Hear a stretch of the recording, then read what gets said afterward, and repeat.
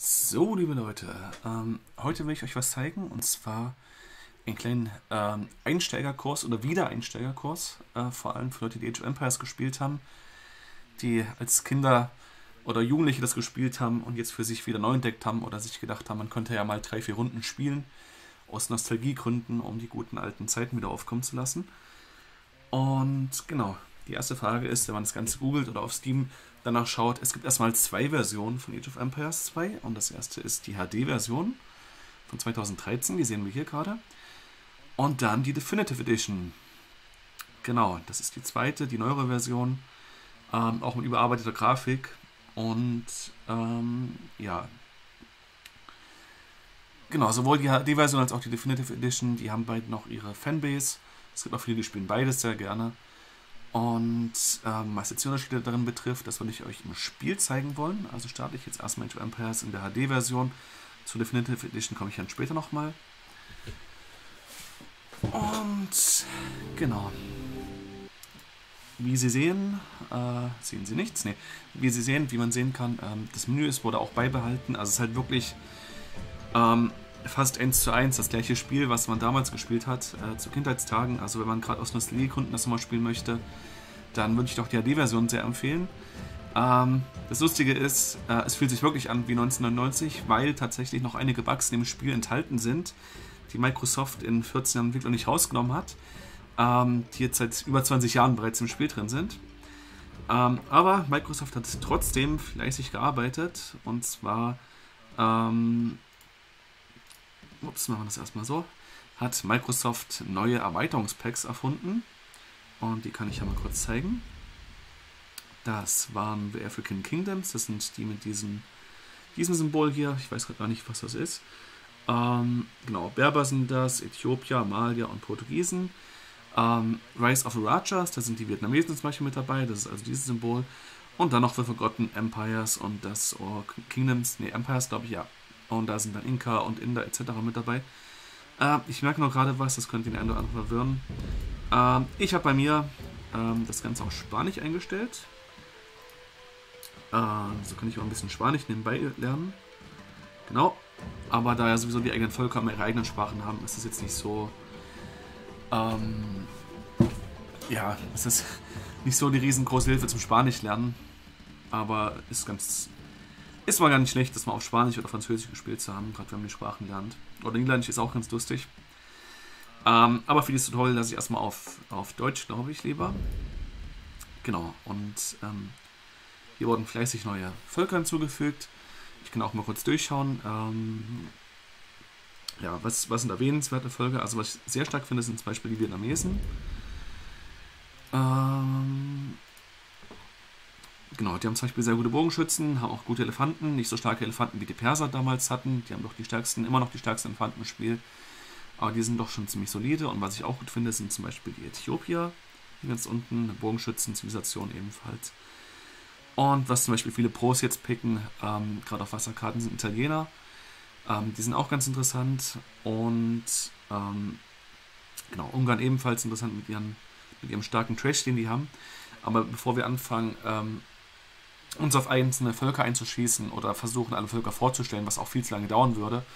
Ähm, ich denke, bis man alle Völker vorgestellt hat, was die alles gut können oder nicht, ähm, hat man schon zweieinhalb, drei Stunden umgebracht, weil man da auch teilweise sehr aufs Detail achten muss. Ähm, deswegen erstmal das allgemeine äh, Spielprinzip. Also man kann natürlich ähm, Anlagen bauen, Schießanlagen, Kasernen. Zuerst muss man eine Kaserne bauen, bevor man eine Schießanlage bauen kann. Sieht mir auch aus diesen Pfeilen heraus jeweils. Ähm, genau. Dann gibt es hier einen Stall bei den meisten Völkern, bis auf bei den Indianervölkern. Das wären in dem Fall also die Azteken, die Maya und die Inka. Die haben keinen Stall, aber die haben dafür ähm, sonst in den Sachen, die sie haben, sehr gute Auswahl und sind auch sehr stark. Haben auch ähm, gerade Maya zum Beispiel ähm, starken Wirtschaftsbonus. Und deswegen würde ich jetzt nicht mal als schwach betrachten, obwohl die keinen Stall haben. Ähm, Genau, dann ist immer ganz wichtig, ähm, es gibt zum einen Goldeinheiten, das ist zum Beispiel in der Waffenschmiede ist alles, äh, kostet alles Gold, also Skorpione, Mangen, Ramböcke und deren Weiterentwicklung, die kosten alle Gold. Und dann gibt es die sogenannten Trace Units, das sind Einheiten wie zum Beispiel die Plänkler, die kosten kein Gold, also hier in dem Fall 25 Nahrung, 35 Holz. Im Schwerkämpfer einmal gespiegelt, 35 Nahrung, 25 Holz. Und dann gibt es natürlich noch die berittenen Speer bzw. die Speerklasse, die ganz leichte Kavallerie und Husaren werden. Die kosten bloß Nahrung. Das sind die sogenannten Trash Units. Und ähm, es gibt ein allgemeines ähm, Schere-Stein-Papierprinzip. Ähm, zum Beispiel ähm, Pekiniere haben Angriffsbonus gegen leichte Kavallerie, die sind also gegen leichte Kavallerie sehr stark. Ähm, aber Elite-Plänkler würden zum Beispiel gegen Pikeniere gewinnen. Die haben einen Angriffsbonus gegen Pikeniere. Zwar ist er nicht so stark wie von Pikenieren zu Kavallerie, aber dennoch ähm, würden die also in überschaubaren Zahlen gegeneinander gewinnen. Im 1 gegen 1 vielleicht nicht, aber ähm, weil der Pikenier die stärkeren Werte hat, wie man sehen kann, auch mal Lebenspunkte hat. Ähm, aber wenn man sich an, wenn man angreift, zurückzieht etc., sollte auch im 1 zu 1 eigentlich der Plänkler überlegen sein. Und die leichte Kavallerie würde gegen den Plänkler gewinnen, da die leichte Kavallerie eine, einen Durchschlagspanzer hat von 2 und der Plänkler eben relativ wenig Angriff hat und die leichte Kavallerie relativ viele Lebenspunkte hat. Und genau, das wäre halt so quasi dieses, der schlägt den, der schlägt den und der schlägt den Prinzip. Und das zieht sich so ein bisschen das ganze Spiel durch, ähm, wobei man auch sagen muss, ähm, gegen Plänkler wären eigentlich noch besser ähm, Mang und Onaga. Genau, die sind aber, wenn man sie richtig einsetzt, eigentlich gegen alles ziemlich gut. Und ja, so läuft das halt. Ähm, und allgemein gibt es halt Counter-Units. Plänkler sind, haben zum Beispiel einen sehr starken Angriffsbonus gegen Bogenschützen. Die sind auch gegen Pikiniere gut. Noch besser sind sie gegen Bogenschützen oder berittene Bogenschützen. Wobei das interessant ist bei berittenen Bogenschützen, dass Pikiniere ebenfalls einen Angriffsbonus haben gegen die. Also haben die auch ähm, zweifach Schwäche. Allerdings für berittene Bogenschützen gelten ähm, sowohl die Schmiede-Upgrades für die Bogenschützen, also es wäre dann ähm, diese und diese Reihe, als auch für die Kavallerie. Das heißt, sie kriegen auch Zuchtauswahl, also mehr Lebenspunkte und Pferdehaltung. Also je nachdem, ob die Zivilisation das überhaupt besitzt, beziehungsweise ähm, die Technologien freigeschalten sind für diese Zivilisation. Genau. Ähm, das wäre das erstmal so im Groben, also dieses Schere, Stein, Papier-Prinzip. Und da kommt auch gerade schon mein Kollege, der wollte mit mir nämlich Mehrspieler-Modus spielen. Ähm, ich schreibe mal kurz. Ähm, hi Buddy. Um, I am recording. We can start in about 10 minutes. Okay. Genau. Ähm, ja, das ist erstmal das Wichtigste. Ähm, das sollte dazu gesagt sein. Also erstmal, wie man die Truppen einsetzt. Und hier zum Beispiel ist auch wieder eine Counter-Unit. Das sind die Kamelreiter. Die sind zum Beispiel stark gegen Ritter. Ähm, allerdings ähm, haben die halt wenig Durchschlagspanzer, haben auch wenig Rüstung, sind also dafür gegen andere Einheiten sehr schlecht, also sind deutlich schlechter gegen Bogenschützen zum Beispiel. Und ja, das ist halt immer so die Sache.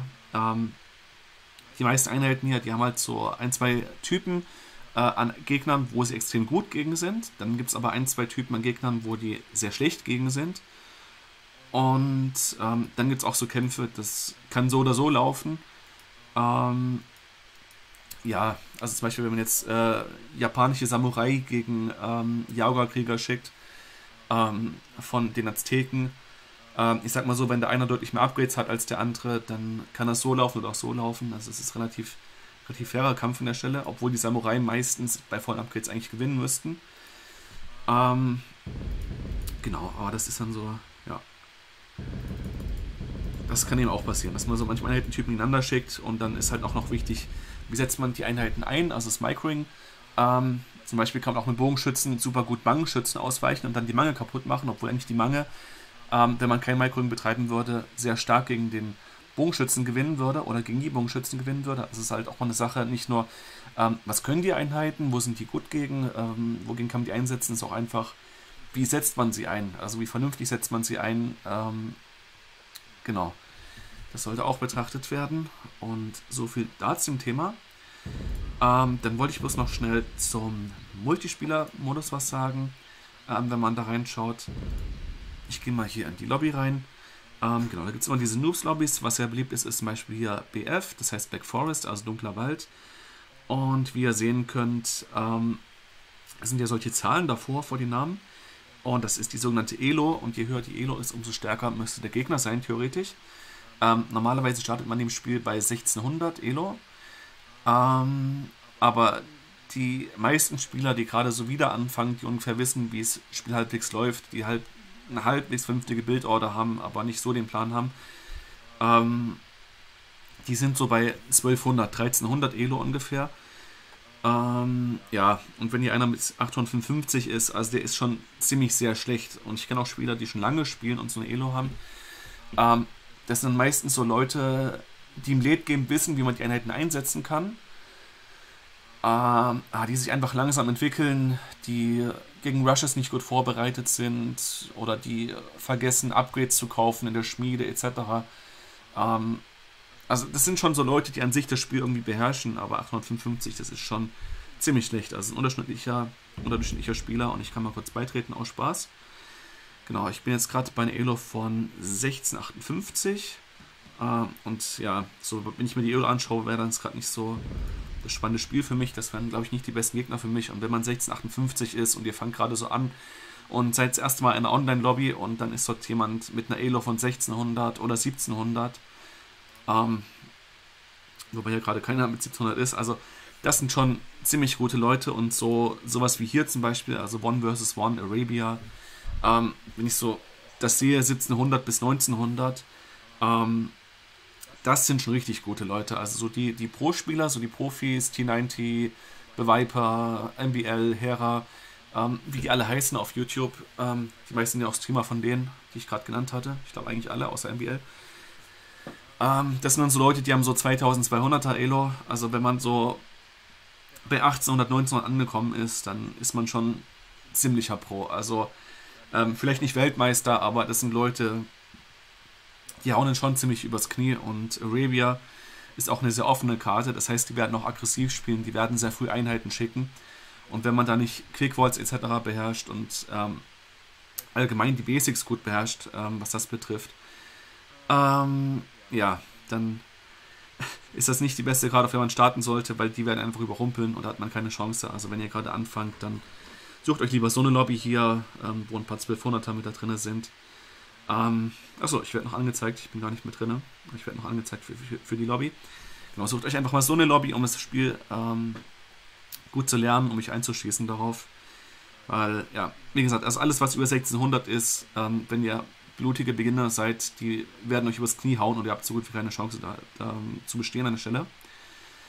Und genau, kurz um noch, ups, kurz um noch zu zeigen, wie ähm, die Grafik aussieht, obwohl wir das ja auch noch gleich mal zeigen werden. Ach, genau, das ist jetzt die schöne Musik der Malein, die wir gerade hören. Ähm, ja, also die Grafik ist an sich auch genau die gleiche. Man sieht halt diese isometrische Ansicht hier, also alles in diesem klaren Winkel was Dreidimensionalität einen suggerieren soll, aber eigentlich ist es halt, ähm, ja, Bilder isometrisch angeordnet.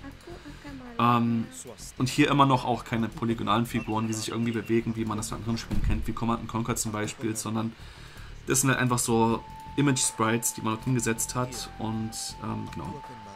Die werden halt dann einfach so animiert ähm, und wie man sehen kann, äh, ja, erwartet keine Bildraten von 60 äh, oder 120 Bildern oder was die Sekunde, weil es ist im Grunde wie eine Dia-Show oder wie ein, ein Stop-Motion-Film, was man hier sieht, dass einfach diese Bilder schon vorgerendert sind quasi und einfach zusammengesetzt werden. Dass es halt ein Bild gibt, wo einmal der Arm links ist, einmal der Arm rechts ist äh, oder links vorne ist, rechts vorne ist.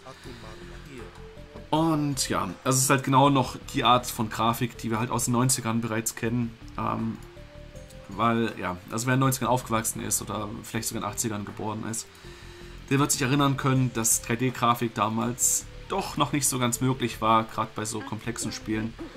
Und wenn ich mir überlege, wie alt das Spiel ist, ist es halt schon mit den ganzen Völkern, den ganzen technischen Optionen, die man hier hat, also gerade der Tech Tree ist ja schon sehr komplex. Also wenn man das mit Spielen vergleicht wie Stronghold oder Command Conquer ähm, und einfach mal schaut, wie viele Möglichkeiten man jetzt zur, zur Entwicklung hat, wie viele Einheitentypen es gibt, vor allem, wenn man sich auch noch überlegt, dass jede einzelne Einheit in der Borg ihre Spezialeinheit ähm, ausbilden kann.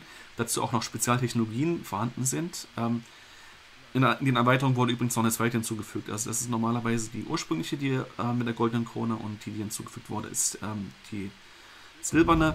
Ähm, obwohl beim Briten haben sie das anders gemacht. Äh, und zwar kann ich das kurz zeigen. Die Briten hatten nämlich Freisassen ursprünglich als ähm, Spezialtechnologie und das ist jetzt schon in Ritterzeit verfügbar, nicht in der Imperialzeit. Dafür haben die jetzt Warwolf, das ist eine Verbesserung für die Tribocke.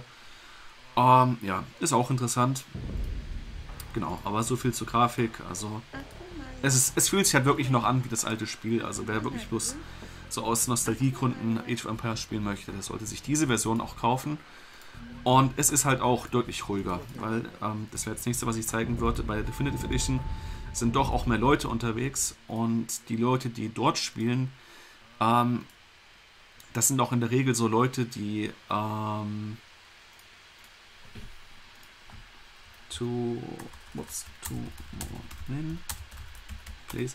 Das sind so dann Leute, die ähm, auch Videos schauen, aktiv von T90 und The Viper etc. Ähm, das sind also dementsprechend halt auch Leute, ähm, wie sage ich es am besten? Auch Spiel, wenn ich laden, das ist nicht gut. Das sind also auch Leute, die in der Regel auch wissen werden, wie die spielen und so richtig totale Super Noobs. Äh, ich sag mal so, es gibt sie dort. Ups. Aber man geht davon aus, das sind schon Leute hier in der Definitive Edition, die doch ein bisschen ähm, ja, ein bisschen motivierter mit dabei sind, dann ist es einfach mal. Genau, seht doch ein wunderbar schönes neues 3D-Intro, wurde extra erstellt. Und ja, ähm, hier ist aber auch mit Elo anders, also ich kann da mal aus Spaß einfach mal ein paar Spiele suchen. Ähm, also hier ist man schon mit einer Elo von 1200 ziemlich gut. Also wo eine Elo von 1200 ähm, in der HD-Version eher schon ähm, wie viel Elo hat der? 865, okay. Also wo das eher mittelmäßig bis schlecht ist, würde ich eher sagen, wer hier eine 1200 hat, der ist in der HD-Version eher so bei 1550 einzuordnen. Und hier ist jetzt einer, der hatte, wie gesagt, 865, äh, genau.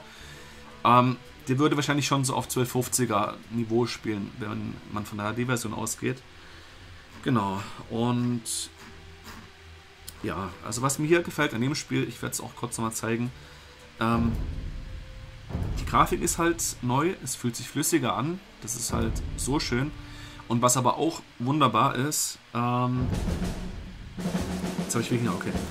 Ähm, was auch wunderbar ist, ist, dass die Verbindung einfach stabiler ist. Es gibt mehr Server, die Server laufen stabiler, weil ich dazu sagen muss, bei der D-Version ähm, 3 gegen 3 ist meistens noch relativ problemlos, aber wenn man 4 gegen 4 spielt und gerade auch ein längeres Spiel hat, wo man auf Black Forest zum Beispiel sich einwallt, und äh, so ein Spiel dann anderthalb oder zwei Stunden lang geht. Ähm, ich habe auch schon längere Spiele gehabt äh, mit Leuten. Ähm, also es kann durchaus einen ganzen Abend füllen, so ein einzelnes Spiel. Ja, genau, also da hat man dann das Problem. Achso, hier mit irgendwelchen Rohstoffen. Okay. Da hat man das Problem, dass man äh, auf dass man Absturz hat oder ein Spieler rausfliegt und dann wird aus einem 4 gegen 4 auf einmal ein 3 gegen 3. Und ja, das ist nicht so ganz cool.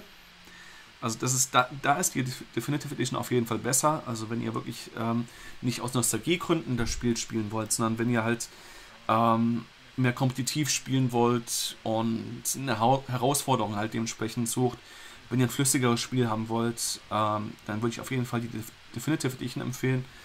Ähm, ja, allein schon mit den Servern, weil die Server einfach viel besser laufen und also ich, ich habe bestimmt in der HD-Version gegen andere Spieler schon 400, 500 Spiele gespielt. Und ich würde mal schätzen, dass davon mindestens 30 bis 50 einfach abgebrochen sind, weil der Host draußen war. Das ist nicht cool. Also ich rede jetzt von Spielen, wo man auch mit vielen Leuten spielt. 1 gegen 1 ist meistens vollkommen stabil. Ähm, ja, das kommt vor. Und ich würde schätzen, dass so bei 15% der, 15% der Spielen, wenn man äh, 4 gegen 4 gespielt, einfach ein Spieler rausfliegt. Und das ist halt sowas von ätzend. Ähm, ich meine, gerade wenn, wenn das innerhalb der ersten Minute passiert, ist jetzt nicht so schlimm, da fehlen noch keine Elo-Punkte. Aber wenn man halt schon 20 Minuten dabei ist und dann ist jemand auf einmal draußen aus dem Spiel und dann wird aus dem 3 gegen 3 ein 2 gegen 3 und es war vorher schon sehr ausgeglichen oder man hatte schon Probleme mithalten zu können, weil das andere Team besser zusammengestellt wurde, ähm, ja, passiert häufig beim Zufallsalgorithmus. Ähm, ja, das ist schon richtig ärgerlich. Also, ähm, wenn es darum bloß geht, ähm, beziehungsweise halt wirklich konditiv spielen möchte, dann würde ich halt die Definitive Edition vorschlagen. Hat auch eine schönere Grafik, auch wenn die Gebäude kaputt gehen, dann fällt das so schön zusammen. Und ähm, genau, es wurden auch noch ein paar Völker mit hinzugefügt. Zum Beispiel hier sieht man gerade, Tatanen sind neu, Polen sind neu. Ähm, die kann man in der HD-Version nicht haben. Und es gibt sogar noch drei Völker, die habe ich selber noch gar nicht gekauft. Das sind die Goyara, die Traviden und die Bengalen. Ähm, die wurden quasi so ein bisschen aufgeteilt. Ähm, in der HD-Version gibt es die Inder, also das heißt Inder. Und die äh, heißen jetzt hier Hindustani. Und in der HD-Version, die Inder, spiele ich auch sehr, sehr gerne. Die haben nämlich Elefantenbogenschützen, die sie in der Burg ausbilden. Und ähm, ich fand die immer halt richtig mächtig, ähm, weil viele Völker ähm, nur bescheidene Antworten auf die haben. Also ich hatte äh, zum Beispiel gegen Briten öfters mal so dann äh, Spam gemacht von ähm, Elefantenbogenschützen plus äh, Hellebarden und äh, Plänklern und noch ein paar Belagerungskanonen. Und ja, das ist schon ziemlich mächtig. Die haben auch die besten Kamele aus dem Spiel. Die haben nämlich imperiale Kamelreiter, die sind ziemlich gut. Und ähm, ja, also ich benutze sonst relativ selten Kamele, bis auf meinen Sarazenen ähm, und Byzantinern, weil die A günstiger sind, beziehungsweise ähm, die Mamelucken sind ziemlich gut. Ähm, aber jetzt, wo es keine Elefantenbogenschützen mehr gibt bei den Indern bzw. Hindustani hier, spiele ich die nicht mehr so sehr gerne, aber es gibt jetzt halt noch Traviden und Goyara und Bengalen, weil halt äh, dieses Volk aufgeteilt wurde, weil die Entwickler bei Microsoft anscheinend sich gedacht haben, okay, ähm, Indien ist so groß und die ähm, Kultur war vielleicht so weit, äh, so weit gespreizt, ist jetzt mal gewesen, dass wir einfach mal jetzt das unterteilen müssen, dass wir jetzt vier Völker daraus machen, ähm, weil ein Volk dem einfach nicht gerecht wird. Ja, und in der Definitive Edition sind auch noch viele Sachen geändert worden. Äh, zum Beispiel Koreaner, ähm, die haben jetzt kostenlose Rüstungsentwicklung für die Bogenschützen. Ähm, genau, das äh, war, in der, war in der HD-Version nicht so gewesen. Ähm, allerdings äh, werden jetzt Türme nicht mehr von Silber weiterentwickelt. Das war nämlich vorher so gewesen, dass die Türme von Silber entwickelt wurden. Wenn man Rush gemacht hat, jetzt muss man das in der Burg ausbilden und heißt jetzt Oib Seong. Beobachtungswach und Haupttürme haben mehr Reichweite, genau. Ja. Oder Maya zum Beispiel, die hatten vorher ähm, eine Technologie, die heißt Obsidian-Pfeile. Da fügen Bogenschützen plus 6 Schaden an Gebäuden zu. Die haben jetzt eine andere ähm, Technik, die heißt äh, Hulsche Speerschleuder. Und wie ihr sehen könnt, Plänkler schleudern zweiten Speer. Das finde ich ziemlich mächtig. Und ja, es wurden noch viele andere kleine Änderungen vorgenommen zwischen HD und DE. Und manche Völker sind ein bisschen stärker geworden, manche sind ein bisschen schwächer geworden. Zum Beispiel Khmer sind schwächer geworden. Die haben nämlich jetzt in der Definitive Edition, wie sie jetzt aussieht, keine Belagerungskanonen mehr. Ähm, das hatten die noch in der HD-Version. Und heißt also, auch wenn ihr selbst die gleichen Völker spielt, ähm, in der Definitive Edition ähm, werdet ihr ein bisschen andere Technologien haben, ein bisschen andere Boni haben, ein bisschen andere Einheiten haben als in der HD-Version. Ähm, also auch das, also alleine schon der Umstieg von HD-Version auf Definitive Edition ist ziemlich interessant und ja, genau. Und jetzt nochmal kurz, um zu zeigen, wie die Server aussehen. Normalerweise sind die, ups, Normalerweise sind die äh, Server nämlich auch belegter, das heißt, wenn ihr ein Spiel finden wollt, geht das meistens schneller. Ich kann mal kurz durchscrollen, wie viele hier unterwegs sind, wie viele Lobbys sind. Also normalerweise, wenn nicht Wochenende ist, kann man erwarten, so bei der HD-Version sind so 8 bis 15 ähm, Server on, beziehungsweise Spiele gehostet. Ähm, auch in der sind es dann auch manchmal über 20, aber selten auch mehr als das. Und hier sind es jetzt 3, 5, sagen wir 10, bestimmt 30 Spiele sind jetzt hier unterwegs. Also, ähm, genau, wenn ihr halt auch viel mehr andere Leute spielen wollt, ähm, hier ist immer mehr Angebot, hier sind auch mehr Leute, hier ist mehr, mehr, ähm, mehr los, sage ich jetzt mal, der Definitive Edition. Und genau, ähm, also wie gesagt, Vorteile, bessere Grafik, Spiel fühlt sich flüssiger an, neue Völker, neue Technologien, ähm, hier werden auch noch Upgrades gepostet. Ähm, es wurden auch ein paar Bugs rausgenommen und ähm, ja, es sind halt auch mehr Leute da. Dementsprechend, genau, wäre das das. Und es gibt auch noch was Cooles bei Mehrspieler und zwar kann man Schnellspiel machen. Kannst du zum Beispiel sagen 1 gegen 1, dann ist es so ein bisschen eine Wundertüte, weil man nicht weiß, spielt man jetzt Arena, spielt man jetzt äh, Black Forest, was spielt man jetzt, aber meistens ist so Arena oder Hideout und, oder Versteck heißt es im Deutschen. Und man sieht auch nicht, welche ähm, Kultur der andere hat. Und ja, das ist halt es ist ein bisschen wie eine Wundertüte, also ich spiele gerne dieses Schnellspiel mal. Man kann auch an einen totalen Noob geraten, der gerade erst seine ersten Mal Spiele macht. Oder an jemanden, der richtig gut ist. Und ja, also es ist ein Modus, der auf jeden Fall ganz interessant ist. Und genau, so viel jetzt zur Definitive Edition. Ähm, ich starte jetzt nochmal die HD-Version, weil mein Kollege bloß die HD-Version besitzt und ich würde euch mal ein bisschen Mehrspielerspiel zeigen wollen, wo ihr euch auch mal eine Bildorder anschauen könnt. Und ich gucke jetzt erstmal, ob der bereit ist. Okay, Buddy. I can invite you now. Are you ready? Okay, ich habe gerade gesagt, zwei Minuten noch, habe zehn Minuten gebraucht. Gut, das kann passieren. Ja, dann leiten wir mal eine Lobby ein.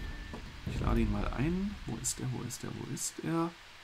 Er ist online. Okay, sehr gut. Dann lade ich ihn mal ein. Und zwar würde ich jetzt gegen zwei KI spielen mit meinen Kollegen. Und ich füge meine Original-KI ein. Die ist ein bisschen schlechter als die neue KI. Achso, äh, es gibt in der ähm, in der ähm, Definitive Edition nochmal eine neuere KI, die ist noch besser. Wenn aber ganz schwer sich herausfordern will, dann gibt es noch einen Resonance Bot, da könnt ihr mal nach googeln. Ähm, das ist so die beste KI, die man spielen kann bei Age of Empires und die ist schon ziemlich mächtig. Also ich habe ein 4 gegen 4 gespielt, schon mit Leuten, die richtig gut waren. Also da waren zwei über 1700 und der andere war auch ein 1650er gewesen. Und wir haben dann ein 4 gegen 4 gespielt gegen vier Resonance Bots und das gewonnen gehabt. Ähm, aber auf meiner Seite den Bot, also ich habe dort einen Taurush versucht, ein paar Bogenschützen ausgebildet. Ähm, ich sag's mal so, ich konnte den aufhalten, beziehungsweise ähm, Entwicklung verlangsamen und Schaden zufügen. Aber ähm, wenn ich immer 1 gegen 1 spielen würde gegen den Resonance-Bot, ähm, ist meine Gewinnchance wahrscheinlich bei 20 oder 30 Prozent. Also das ist schon eine richtig harte KI ähm, tatsächlich besser als viele menschliche Spieler. Also wenn, wenn ihr so, ähm, ja, wenn hier in der HD-Version gegen Leute spielt, ähm, ich würde so schätzen 1620 bis 1680, das äh, ist so der Resonance-Bot ungefähr, wobei es glaube ich auch noch ein Upgrade gibt. Ähm, genau, dass man, äh, dass der noch besser wird, dann spielt er glaube ich auf 1750er Niveau. Also das ist schon ziemlich stark. Sorry I was talking. Um, are you ready? Here is my strategy. I will archer rush one and you can take care of me aber. Okidoki. GLHF. Das heißt, good luck, have fun. Das ist so eine Sache, was wir immer so gerne schreiben. Ähm, ja. Macht halt den guten Spieler oder den Fernspieler aus, dass man halt dort rein, reinschreibt, ähm, good luck, have fun. Das ist so ein bisschen einfach, ähm, ja, wie drücke ich es aus? Ein Akt der Sportlichkeit, nenne ich es jetzt mal. Äh, und was ihr gerade sehen könnt, der Ping ist ziemlich schlecht. Also wenn es rot ist, ist es nicht gut. Can you fix your Ping? Und ja, ich würde euch mal eine Bildorder zeigen wollen, wie man einen Archer Rush machen kann. Ich finde, ähm, ein Archer Rush insbesondere ist ziemlich stark, ähm, auch gegen KI. Ähm, gegen KI wirkt auch meistens ein Tower Rush, aber ähm, der Archer Rush, finde ich, ist stärker, weil 10 Bogenschützen, die ich bewegen kann und Not zu meiner Basis zurückziehen kann, ähm, bringen mir persönlich mehr als drei Türme, die im gegnerischen Land stehen und die mich überhaupt nicht verteidigen können. Und ich schaue jetzt mal, welche Zivilisationen gut wären für einen Archer Rush. Und das wären ähm, zum einen die Briten, ähm, die ich aber nicht so gern spiele. Inka wären auch nicht schlecht dafür. Italiener. Italiener ist aber eher eine ähm, Seemacht. Ähm, Japaner wären sehr gut, ähm, haben sehr gute Bogenschützen, haben aber auch ähm, noch den Vorteil, dass die weniger zahlen müssen für ähm, Bergarbeiterlager und Holzfällerlager. Äh, nämlich 50 anstatt 100 Holz. Heißt, man hat schon da 100 Holz gespart, wovor man vier Bogenschützen später ausbilden kann. Also Japaner wären ziemlich stark dafür. Ähm, auch nicht schlecht wären Vietnamesen, die zu erwähnen wären, weil die mehr Lebenspunkte haben und allgemein auch sehr starke Bogenschützen haben. Die haben zum Beispiel auch einen Ratternschützen, der hat einen sehr starken Durchschlagspanzer, würde deswegen auch im 1 gegen 1 gegen jeden anderen Bogenschützen gewinnen. Ähm, ich werde aber heute mal die Äthiopier nehmen. Die haben nämlich auch einen Vorteil. Und zwar bei den Äthiopiern ist das so, dass die Bogenschützen schneller schießen. Ich glaube, in der, in der Definitive Edition ähm, sind es nicht 15%, sondern sogar 18%. Und die erhalten sogar 100 Gold, wenn sie nächste Zeitalter voranschreiten. Heißt, diese 100 Gold reichen aus, um zwei Bogenschützen auszubilden. Das sind nämlich hier 45 Gold. Und ich spiele auch die Äthiopier allgemein sehr gerne, weil die alle Belangungsmöglichkeiten haben. Und gerade im späten Spiel, das ähm, doch sehr von Belangungswerkzeugen sehr ähm, dominiert wird, gerade auf Black Frost zum Beispiel. Und die haben eine Spezialtechnik, die nennt sich Torsionsgeschütze. Und die macht einfach mal Einschläge von Belagungsunagern, aber auch von Belagungskanonen, aber gerade von Erstgenannten besonders, unheimlich mächtig. Ähm, also die können durchaus einen doppelten Schaden machen, dass die mit einem Schuss 10, 12, 15 Bogenschützen rausnehmen. Und ähm, ja, deswegen sind auch die Äthiopier eins meiner Lieblingsvölker, weil die einfach unheimlich stark sind mit ihren Belagungswerkzeugen. Und ich halt so gerne auf starke Bogenschützen, starkes Belagungswerkzeug setze. Und ich denke, da kann man den Äthiopiern nicht so schnell was vormachen. Die Vietnamesen haben bloß einen Vorteil, die sind auch sehr stark, dass die noch ihre Elefantenreiter haben. Ähm, genau, aber so viel dazu. Ja. Genau, also man kann auch hier im Chat noch äh, Zahlen eingeben. Zu jeder Zahl gibt es dann ähm, jeweils äh, einen Spruch, der zukommt. Eins ist zum Beispiel Ja, zwei ist Nein, etc. Das können wir mal selber durchprobieren. Genau. Ähm, sorry. Again, explaining. But now I am ready. Genau. So, jetzt legen wir mal los. Und was auch bei Teamspielen nur möglich ist, man kann Handel betreiben. Und Handel läuft so, dass man einen Marktkan hat. Und die Mark kann immer Gold bringen, aber vom Gegner, äh, vom Verbündeten gar nichts nehmen. Also es ist kein direkter Handel, sondern es ist halt wirklich bloß Gewinn für denjenigen, dem halt dann der Marktkan gehört. Eins, zwei, drei.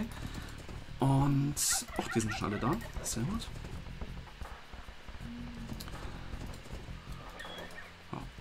Und das ist halt auch interessant, also gerade auf Black Forest, wo man halt eine sehr geschlossene Karte hat, ähm, ist auch Handel dann so eine Sache, die sehr wichtig ist, weil ähm, Goldeinheiten halt deut durch, doch deutlich stärker sind als ähm, die Trash-Einheiten. Ähm, zum Beispiel haben Elite-Plänkler maximal 7 Angriffsstärke, Bogenschützen jedoch, ähm, also Avalistenschützen haben 10, Spezialbogenschützen ähm, teilweise 11 und manche berittene Bogenschützen, wie die Britenbogenschützen der Ungarn oder Mangudai von den Mongolen, die haben sogar 12. Und ähm, ja, das klingt erstmal nicht so viel. Okay, die einen haben 7 Angriffspunkte, die anderen 10, aber ähm, es macht einen Unterschied. Also wenn man zum Beispiel auf ähm, Paladine schießt, die einen Durchschlagspanzer haben von 3 bis 4, wenn sie voll ausgebildet sind. So, wenn man dann einen Angriff hat von 7, macht man bloß den Minimalschaden. Oder, ähm, ja, den, den notwendigen Schaden. Also macht, man macht mit jedem Angriff Schaden. Mindestens 1, auch gegen Planungswerkzeug. Ähm, aber ob man jetzt einen Schaden macht von 1 oder 3, das ist natürlich doch schon ein großer Unterschied. Ähm, ja, gerade wenn man in größeren Massen ankommt, obwohl man auch sagen muss, wenn man in einer gewissen Überzahl ankommt, also sobald man erstmal 30, 40, 50 Plänkler hat, kann man damit auch schwere Kavallerie angreifen. Also das ist auch problemlos möglich. Hoch, das ist mein Verbündeter, okay. Dann muss ich mal lieber hier oben scouten.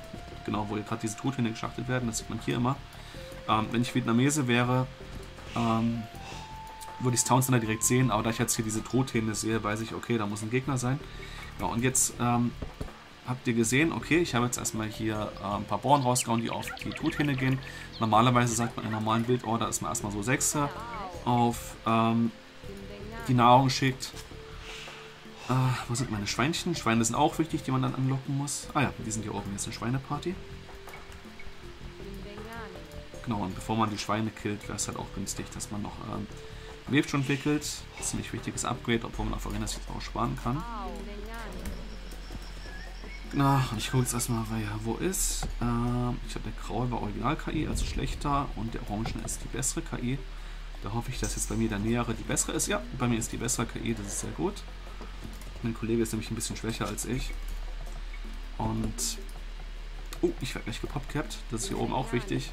Jetzt bin ich gerade bei 14 von 15 Bevölkerung. Das wäre sehr ungünstig, wenn ich gepopcapped werde. Weil ich ein Idle Time habe und es gilt halt immer sehr Idle Time zu vermeiden. Genau. Ja, hier ist eigentlich auch Gewässer. Hier kann man gut einen sogenannten Fischboom machen. Dass man noch einen Hafen setzt. Ähm, das hat den Vorteil, dass man halt in der gleichen Zeit einfach mehr Einheiten rausbekommt, beziehungsweise was heißt Einheiten, mehr Dorfwohner rausbekommt. Und, ähm, oder Wirtschaftseinheiten, wenn es einfach rausbekommt. Und das macht halt schon einen Unterschied, wenn ich dann ähm, zum Beispiel drei Boote draußen habe und dann mit 19 Dorfbewohnern und drei Booten, also 22 insgesamt hochgehen kann, anstatt dass ich halt erst noch ein paar Dorfbewohner raushauen muss. Normalerweise sagt man so, mit 21 kann man hochgehen, auf vielen Karten, wenn man aber abwollen kann und Fast Castle machen möchte, macht es auch Sinn, mit 26 hochzugehen. Also rechnet immer so damit, äh, wenn ihr euch fragt, uh, jetzt habe ich Idle Time, reden und spielen nebenbei. Ähm, oder spielen und reden nebenbei. Genau, wenn, wenn man ähm, Och, jetzt bin ich gerade kurz draußen. Äh, wenn man ähm, ein Fast Castle machen will, dann würde man halt mehr Bewohner ausbilden. 26 ist ja sehr häufig die Anzahl, die dort viele wählen. Ähm ja, aber das ähm, ist so eine grobe Orientierung, falls man sich so fragt, ja, mit wie vielen Leuten soll ich denn jetzt hier überhaupt hochgehen? Ähm, wie gesagt, also so 21 bis 26 ist normalerweise eine gute Zahl, aber wenn ihr auch gegen andere Noobs spielt, ähm, dann macht euch da auch, mal auch nicht so viel Stress. Ich werde, da wir jetzt mit relativ viel Rohstoffen gestartet haben, normalerweise startet man mit ähm, 100 Gold. Ich habe mit 300 Gold gestartet, ähm, habe 50 schon Websch ausgegeben. Werde ich ein bisschen früher hochgehen. Ähm, ich werde jetzt hier ein paar mehr Leute auf Holz schicken, das werde ich brauchen für meine Bogenschützen. Und zwar ähm, werde ich so machen, ich werde jetzt hier mit einem erstmal eine Kaserne bauen. Ähm, die Shortcuts müsst ihr euch auch am besten merken. Also Hotkeys, wenn ihr schnell spielen wollt. Ähm, das wäre jetzt S und Q gewesen in dem Fall, genau. Weil wenn ihr auf jedes einzelne draufklickt... Ähm, oh, was ist das? Routine? Den nehme ich doch. Ja. Also wenn ihr vernünftig mit den Leuten mitspielen wollt, dann braucht ihr halt auch die Hotkeys. Ähm, ohne die wird es irgendwann nicht gehen, ab einem gewissen Spielniveau. So, die Frau ist fertig. Das ist sehr gut. Ähm, ich kann jetzt schon mal, da ich gleich in der Feudalzeit bin, ähm, hier drei Leute hochschicken. Ihr könnt das nächste Schwein töten. Ja. Zack. Und die werden gleich erstmal vorwärts ähm, ein paar Archer Ranges bauen. Also Schießanlagen bauen. Ähm, hat einfach den Vorteil, wenn ich dann die Bauern gleich nach vorne schicke, kann ich auch noch ein paar Türme bauen. Das ist nämlich auch eine sehr häufige Strategie, dass jemand dann Türme baut, also einen Tower Rush macht, wie sich das Ganze nennt. Und ja, genau, warum das Ganze nicht kombinieren miteinander? Hoch, jetzt kommt hier ein Jaguar.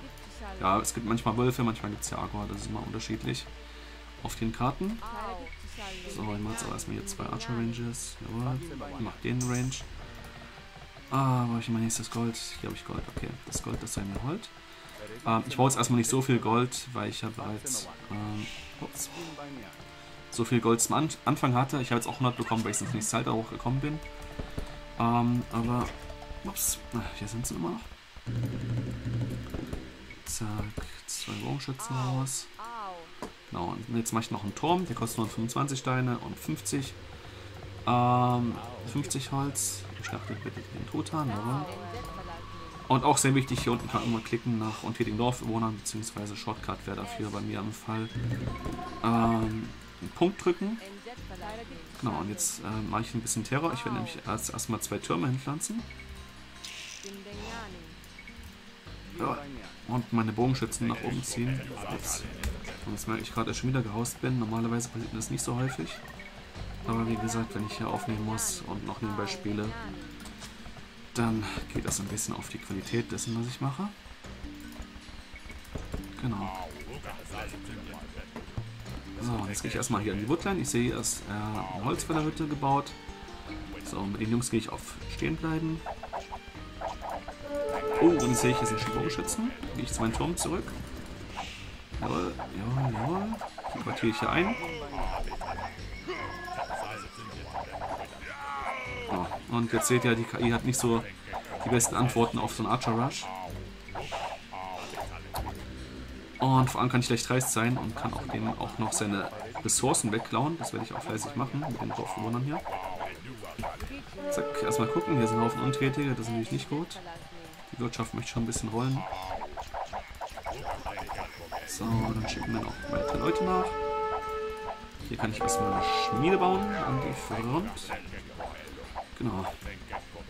Normalerweise würde ich empfehlen, auf defensive Haltung Einheiten zu gehen, aber das Problem ist, die laufen dann teilweise in die, ähm, hier ins Dorfzentrum rein und das Dorfzentrum kann Pfeile verschießen, deswegen ist das ein bisschen sehr ungünstig. Und hier kommen noch mehr Jungs nach. Jawohl. Und hier kommt das erste Upgrade und zwar ist das Befederung. Kostet mich 50 Gold. Äh, interessant ist übrigens, Spanier, die haben bloß Bogenschützen, die können die nicht weiterentwickeln zu Armbrustschützen oder Lesbenschützen. Trotzdem habe ich öfter schon mal einen ähm, Rush mit denen gesehen, also einen Bogenschützen-Rush mit denen gesehen, weil, und das ist interessant, die in der Schmiede keine, keine Nahrung bezahlen für die Upgrades. Und das hat halt dann die Folge, dass ihr quasi anstatt 50 Gold in ähm, dieses Upgrade zu investieren, ähm, weitere 45 Gold in Bogenschützen investieren könnt und dementsprechend sogar so ein Bogenschützen-Rush mit Spanien ziemlich stark sein kann. Obwohl die bloß Bogenschützen haben und normalerweise halt Bogenschützen keine gute Einheit bei denen sind. Aber die haben volle Upgrades. Und, ach, hier kommt direkt die nächste. Ist doch wunderbar, wie mir hier die Bauern direkt reingeschickt werden. Ah, und jetzt ist das hier schon der erste Gegner, der ziemlich marsch ist.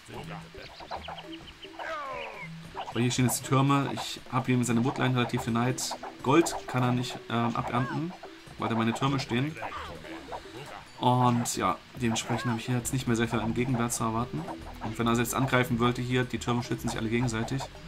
Also wenn es an dem Punkt angekommen ist, dann ähm, hat die KI eigentlich schon ziemlich verloren. Genau, ihr seht es hier auch. Haben schon sehr viele Bauern gefallen. Und so einen Bauern zu verlieren ist relativ schmerzhaft, weil erstmal kosten an sich 50 Nahrung. Aber 50 Nahrung ist eine Sache. Ich mal die Jungs wieder nach unten. Oh, ich habe vergessen, meinen mein Townsend laufen zu lassen. Man muss hier sehr viel multitasken können. Also, da muss man schon fit sein. Gerade wenn man so Spiele spielt, wo man äh, 3 gegen 3 hat, und einen Haufen Leute ankommen und dann an mehreren Fronten knallt. Ähm, ja, da muss man schon auf der Hut sein, dass man nicht Sachen verpasst, die wichtig sind. So, du kannst dir dem Kollegen helfen. Kannst noch ein bisschen Wohnraum schaffen. Genau. Und ja, so läuft erstmal ganz gut. Man kann auch sehen, ja, die Punktzahl ist jetzt ziemlich schlecht für den. Der ist jetzt bei 2100, ich bin bei 2600, 2700 gleich angekommen. Also bin wirtschaftlich auch deutlich besser als der unterwegs.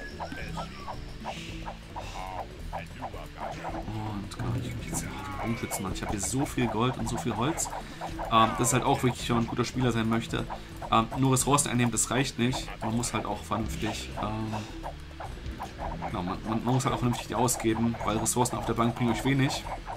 Also ich sag mal so, 200 äh, Gold und 100 Holz bringen euch relativ wenig auf ihr Bogenschützen. Ähm, können halt schon was ausmachen, gerade im frühen Spiel.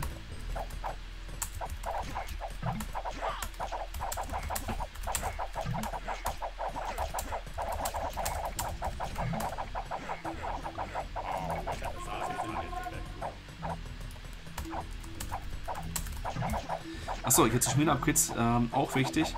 Ähm, bei ähm, Fernkampfeinheiten normalerweise erst ein Angriff, weil nicht nur der Angriff stärker wird, sondern auch die Reichweite. Und äh, bei Nahkampfeinheiten macht man normalerweise eher erst äh, die Panzerung. Also das wäre jetzt Schottenpanzer für Infanterie, Schottenpanzer für Kavallerie.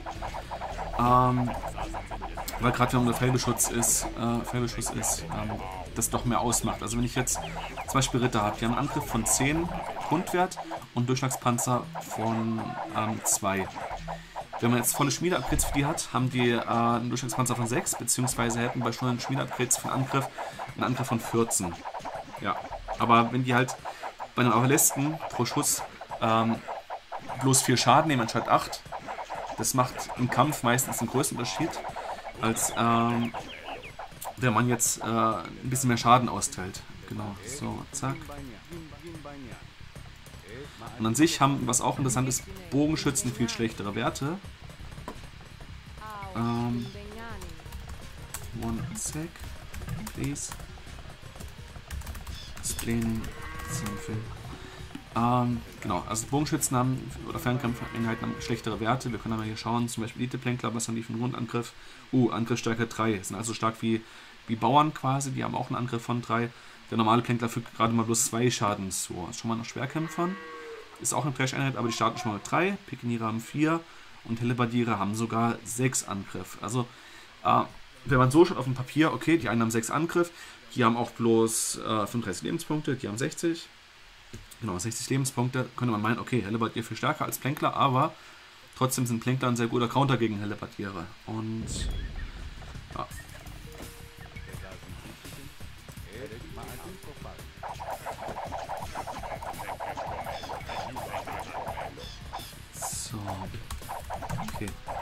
can trade soon. I will make a market. Genau, und bei ähm, Märkten ist die wichtige Sache, der Gewinn ist immer exponentiell. Ähm, exponentiell. Also heißt, ähm, bei doppelter Entfernung hat man so ungefähr den vierfachen, ähm, die vierfachen Einnahmen. Also es lohnt sich auch Märkte weiter wegzubauen. Umso weiter die Entfernung, umso weiter der Gewinn.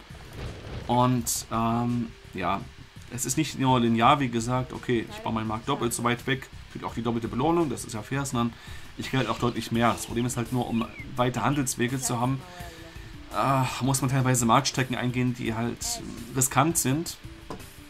Und wenn halt irgendwo eingebrochen wird bei einem 4 gegen 4 und man hat eine sehr, sehr weite Marktstrecke und dann sind die in der Wirtschaft, drin, mit Mango da zum Beispiel und schießen dann die ganzen Marktkarren weg, ähm, ja, ist nicht so schön.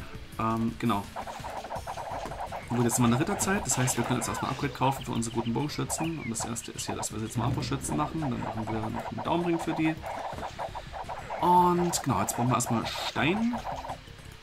Äh, Stein soll es sein. Äh, kaufe dafür auch schon mal Stein-Upgrade.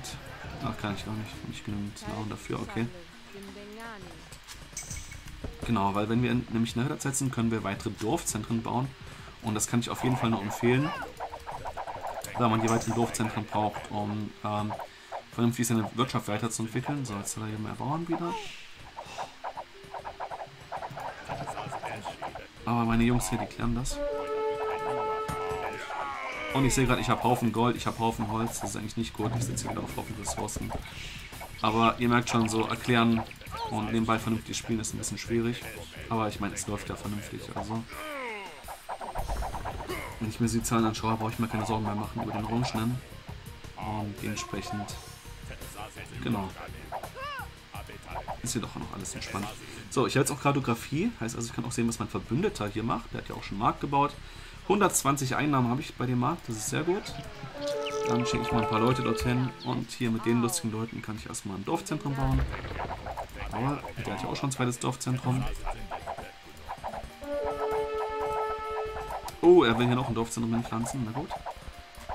Dann schicke ich mal meine Bogenschützen runter. Die sollen das mal klären. Und was ich jetzt mal hier bauen werde, erstmal, das ist, also der kann hier eigentlich weiter kloppen. Ich werde jetzt erstmal hier noch zwei Waffenspielen pflanzen. Weil ich dann nämlich mit Angstweizig habe, indem ich hier sein Dorfzimmer angreifen kann.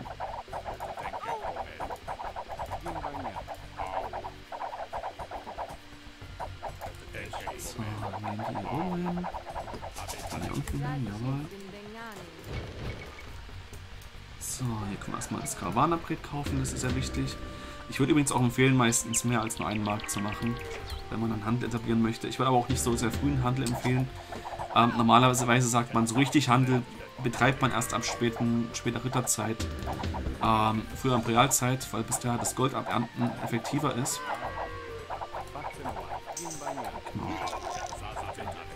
Oder wenn man es halt wie ich gerade macht, einfach im Gegner seine Ressourcen wegklauen. Das ist halt auch viel effizienter, als schon mal Handel einzuführen. Ja, weil man muss immer so sehen, dass wie bei Bekehrung mit einem Mönch, also Mönche sind halt auch sehr mächtig, weil die halt Gegner gut bekehren können. Ähm, und es halt zum Beispiel dafür, es gibt halt nicht nur einen Counter gegen Einheiten, zum Beispiel Ritter hat Pikenier als Counter, hat Kamelreiter als Counter, hat aber auch Mönche als Counter. Und das Schöne ist, wenn man halt Mönche schickt, dann ähm, nicht nur der Gegner eine Einheit. Ups, die sind so nah dran, die Jungs. Das ist nicht gut. Dann verliert nicht nur der Gegner eine Einheit, sondern kriegt selber noch ein zweites dazu. Das heißt also, eine Einheit wegzubekehren, das ist für den Gegner gleich doppelt schmerzhaft. So, und ich muss aber erstmal ein paar neue Häuser bauen. Hier oben sieht man es, blinkt die ganze Zeit schon. Ich bin gehaust, das ist nicht gut. Kann ich mich keine neuen Einheiten ausbilden. So, genau. Aber es läuft ja ganz gut. Mein Kollege hat ja auch schon gepflanzt. Genau, das ist äh, Castle Drop nennen wir das Ganze. Das ist äh, gerade bei Noobs, also Beginnern, ist das ziemlich stark. Ähm, weil viele so auf dem schwachen Niveau keine guten Ein ähm, Antworten dagegen haben. So, jetzt ist hier. Ups, sind hier meine Mann dabei, schon das Dorf noch wegzuschießen. Ich kann auch gleich in die Realzeit hochgehen. Kann ich eigentlich jetzt schon. Ich hoffe mal ein bisschen. Ähm, Nee, Quatsch, ich brauche noch zwei Gebäude. Erstmal in der eine Burg oder zwei Gebäude der Zeit, um hochzusteigen. Ich habe zwar zwei Waffenschmieden, aber die gelten nicht, weil ich zwei Unterschiedliche brauche. heißt, ich könnte zum Beispiel noch ein Kloster machen. Mache ich jetzt auch mal. Ein Kloster bauen. Vielleicht kann ich ein zweites Kloster bauen. Ich Reliquien sammeln. Reliquien sind diese Dinger hier. Ich bringe ein Geld ein. Man kennt es vielleicht noch von früher. Genau, und eine Reliquie ist ungefähr so wertvoll wie ein Dorfbewohner, der kontinuierlich ähm, auf Gold ist. Also Gold kann ich nicht Ja, genau, dann lassen wir das. Ups, wird mal nicht so viel aus. Und wenn wir gleich genug Ressourcen haben, nämlich 1000 Nahrung und 800 Gold, und Gold haben wir genügend, dann können wir uns nämlich hochklicken in die Imperialzeit. Und das mache ich gerade. Genau. Ja, hier ist der Markt. Der Markt ist ein globaler Markt. Das heißt also auch, ähm, wenn ich hier Sachen verkaufe, werden diese Sachen günstiger. Und wenn ich welche einkaufe, werden die teurer. Also ganz klar, wie man es aus der echten Marktwirtschaft kennt, äh, Angebot und Nachfrage. Ups, wo sind meine Bogenschützen hier oben hin? Ich habe nicht aufgepasst.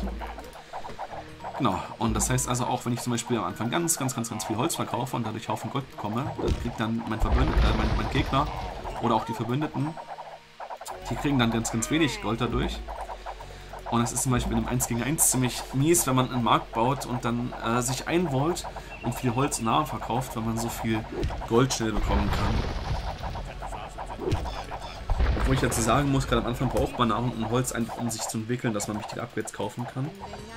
So, oh, jetzt hole ich mir erstmal die Reliquien. Die eine ist hier. Die nächste schnappe ich mir, die ist hier. So. So, was mir auch seht, die kriegen jetzt eine 2, die Armbrustschützen. Das sind sogenannte Kontrollgruppen, das können die mit Störung 2 machen, oder Störung 1, oder Störung und allgemeine Zahl zuweisen. Hier greift bitte mal das TC an.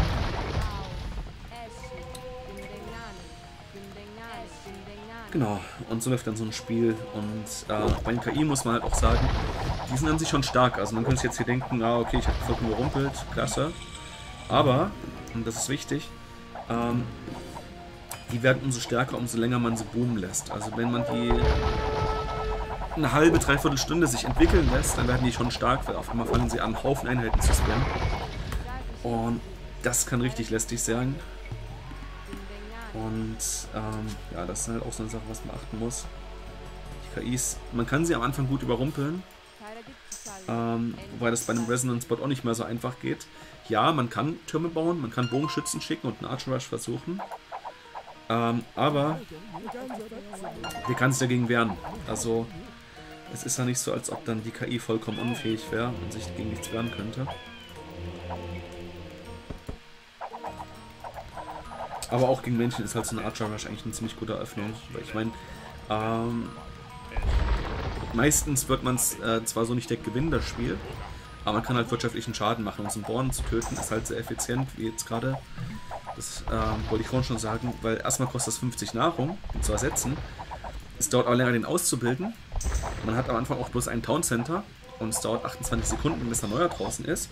Und ein Bauer kann etwa 20 bis 25 Nahrung einnehmen die Minute und kann zu denen aber auch ähm, etwa 20 bis 25 Holz einnehmen. Das heißt, ein Bauer zahlt sich sehr schnell aus, denn nach zwei, drei Minuten wird er so viel Ressourcen erwirtschaftet haben, dass er sich selber äh, quasi schon abbezahlt hat.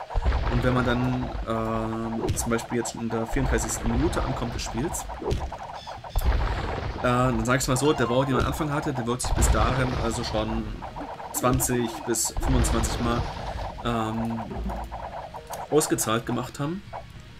Und deswegen ist halt ein Bauer ein doppelter Schaden, weil erstmal muss man den Bauern ersetzen, was ein wirtschaftlicher Schaden ist. Dann ist das TC idle, was nicht gut ist, beziehungsweise muss halt länger laufen. Und dann fehlen dann halt auch noch Haufen Ressourcen. Also, äh, wenn man drei Bauern killt, äh, heißt das für den anderen, dass er innerhalb von drei Minuten ähm, irgendwas zwischen 50 und 70 Ressourcen auch noch ähm, weiter verlieren wird. Also das muss man auch noch betrachten. Und ähm, was man auch so sehr gerne sieht, ist, dass halt ähm, in der dunklen Zeit schon angegriffen wird und die einzige Militäreinheit ist dort der Milizsoldat. Und man tötet da meistens nicht viele Bauern mit, ähm, vielleicht auch gar keine. Äh, aber trotzdem machen das viele Pros auch. Und die würden auch sagen, dass ähm, man durchaus zwei oder drei von denen verlieren kann, ohne selber ähm, einen Bauern umzubringen, weil da wird dann auch nicht nur geschaut, okay, so und so viele Bauern sind weg, okay, das hat sich jetzt ausgezahlt, sondern man muss das nächste beachten. Und das nächste ist an der Stelle dann äh, einfach Idle Time. Wenn man zum Beispiel ankommt und dann äh, der andere seine Einheiten wegziehen muss, weil der eine mit vier Militsoldaten ankommt und dann muss er seine Woodline äh, aufgeben, weil er dort bloß drei Bauern hat und die sich nicht vernünftig wehren können. Ja, dann muss man erstmal ein neues Holzverlager bauen für 100 Holz, das ist erstmal ärgerlich. Äh, und aber auch ähm, hat man Idle Time, also die Bauern müssen erstmal abgezogen werden. Und wenn man halt äh, schafft, dass jeder Bauer eine Minute Idle Time hat, dann hat man eben auch dem anderen einen Wirtschaftsschaden von 60 zugefügt. Und der Militsoldat, der kostet eben ähm, 60 Nahrung und 20 Gold. Heißt also, man hat alleine schon durch die Idle Time äh, den Schaden verursacht, den vier Milizsoldaten, äh, den ein Milizsoldat quasi kosten würde, also den, die, die Ressourcen. Ähm, interessant ist übrigens auch, wenn ihr das Ganze aufwertet, die Kosten bleiben immer gleich. Also wenn ihr zum Beispiel einen Champion ausbildet oder Elite-Kämpfer halt im Deutschen, ähm, das ist genauso teuer wie ein Milizsoldat, ihr müsst halt bloß für die Upgrades zahlen. Also hier zum äh, Dings. Äh, zum Schwertkämpfer sind das erstmal wie viel? Genau, 100 Nahrung, 40 Gold. Hier waren es 65 Gold gewesen. 200 Nahrung, ja. Also ihr zahlt bloß einmal fürs Upgrade. Ihr zahlt dann nicht dafür, dass die Einheit besser ist. Ähm, das heißt also auch Upgrades lohnen sich wirklich. Ähm, weil wenn das jetzt wieder anders wäre, dass jetzt dann ein Mietsoldat 20 Gold kostet, ein Elitekämpfer kostet 80 Gold, dann wäre es ja wieder so, dass ich sagen würde, ja, okay, äh, kann sich lohnen, muss sich nicht lohnen. Aber die Upgrades lohnen sich halt auch und gerade auch die Schmiede-Upgrades lohnen sich. Obwohl ich gerade sehe, die Jungs haben überhaupt keine ähm, Panzerungs-Upgrades, aber das brauchen die auch nicht theoretisch. Ups. Ähm, ja. Also normalerweise bauen die schon Panzerungsupgrades, das war jetzt äh, nicht die allgemeine Anzahl gewesen. Aber wenn die halt keine Gegner sind, beziehungsweise wenn die halt in so einer riesigen Überzahl sind, ähm, ich meine, selbst wenn jetzt ein Ritter ankommen würde, wahrscheinlich würde er gar nicht bei einem Einzelnen ankommen, weil so viele Bogenschützen einfach da sind, die ihre Kollegen retten. Ähm, aber die Sache ist halt, der Angriff gilt halt für alle, wenn 10 schießen. Und äh, wenn bloß einer einschlägt, dann würde das Verteidigungsupgrade das auch bloß für einen nutzen. Deswegen wie gesagt, also bei Bogenschützen erstmal Angriff ähm, verbessern und dann Panzerung und bei den Nahkampfeinheiten erstmal die Panzerung machen. Aber natürlich sind beide Upgrades wichtig, also genau. Ja, so viel dazu. Ja, dann hat man ein bisschen Bildorder gesehen. Hier boome ich gerade mit den Leuten, mache hier mehrere TCs. Hier kann auch Sachen in die Warteschleife einreihen, das finde ich auch ganz praktisch. Mache ich eigentlich in jedem Spiel. Genau. Und sie kann halt, wie gesagt, in diesen Archer Rush der erfolgreichen Gegner rausnehmen. Ich bin gerade bloß ein bisschen verwundert, dass er noch gar nicht aufgegeben hat. Weil so wie das läuft für den Orange hier, ist das ein bisschen verwunderlich für mich. Wie ihr seht, sieht es bei meinen Kollegen nicht ganz so gut aus, aber ich werde ihm gleich zur Hilfe kommen. How is it going, buddy? Ähm, ja, wie ihr seht, ich schreibe auch alles auf Englisch, also ähm, geht davon aus. Wenn ihr spielen wollt mit Leuten online, es werden nicht alles Deutsche sein. Und dementsprechend müsst ihr auch ein bisschen in der englischen Sprache fit sein. Damit ihr mit denen kommunizieren könnt. Aber hier sind auch Franzosen, Spanier, was auch immer. Ich finde das ganz interessant, weil ich gerne Sprachen lerne. Und ja, wir hatten alle möglichen Sprachen, also von daher.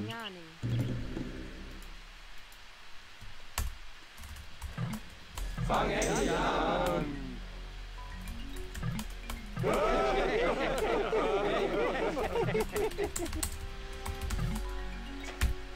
Ihr sehen könnt, ich habe jetzt schon 6000 Gold. Das ist eigentlich schon lächerlich viel. Ähm, muss was jetzt abgeht für die Holzfäller kaufen.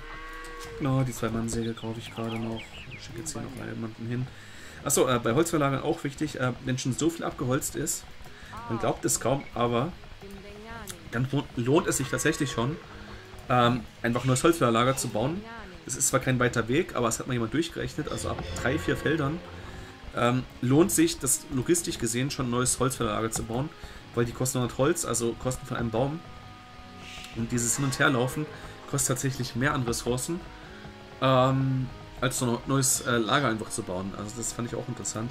Ähm, genau, und falls, falls ihr euch auch informieren wollt, weiterhin über ähm, interessante Sachen, was das Spiel betrifft, könnt ihr mal nach Spirit of the Law schauen. Der hat viele Videos gemacht, alles auf Englisch, wo er halt ähm, Zusammenhänge erklärt.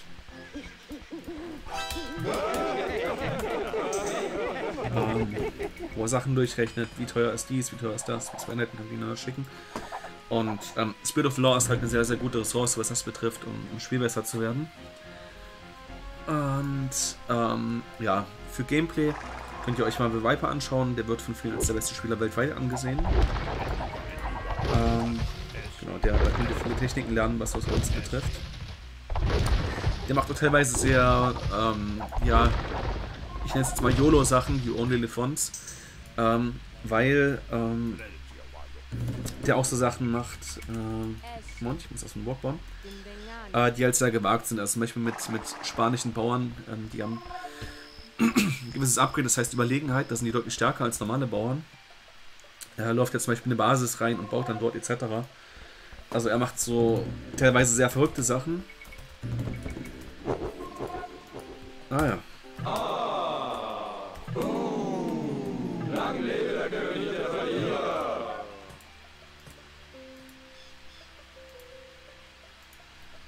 Oh, ein Lob.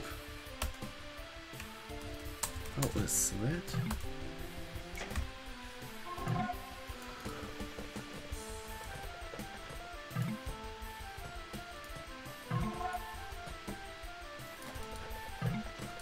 So, jetzt nehme ich erstmal mein da. I feel flattered.